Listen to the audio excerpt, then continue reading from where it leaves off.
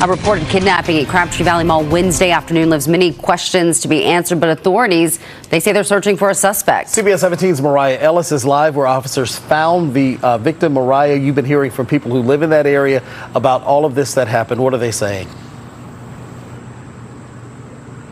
Yeah, just down the end of the street here, we have a construction site, and that's where workers had told us that a female victim had come up to them asking for help. They dialed 911. Now, police say they have not made any arrests at this point, but I can tell you, neighbors are definitely relieved that this woman is safe. It's a call that came in Wednesday afternoon. Raleigh Police Department has responded to 105 Turner Street, 105 Turner Street. Reference kidnapping. Raleigh police officers responding to a reported kidnapping just before 3 o'clock. Calling about that she was kidnapped. Saying that they she took her from Crabtree Mall to this location. Doesn't know who the subject is. I was walking outside of my house and I just saw one cop car pull up with a cop with a long rifle walking down that behind that house. As we're leaving, we see like two, three other patrol cars just like coming down our street. Neighbors living near Hillsborough and Turner yeah, Street, who witnessed several police cars in the area, are still asking questions.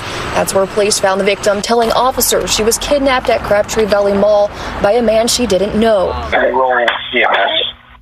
10 4. Breathing. Complaint of being uh, strangled. And uh, Raleigh, the vehicle that's registered to her is a white uh, Cadillac um, he has apparently taken this car. You know, it scared me a little bit that there's kidnapping going on down the street.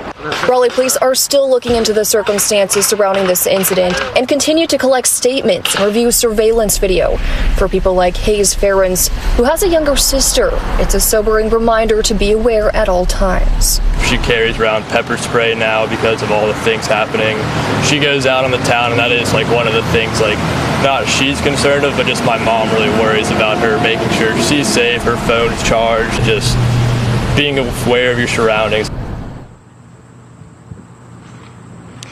Now, the, the victim, you know, we do know that she told police that she was taken from Crabtree Valley Mall. However, we did reach out to staff there and they did not comment. And Raleigh Mariah Ellis, CBS 17 News.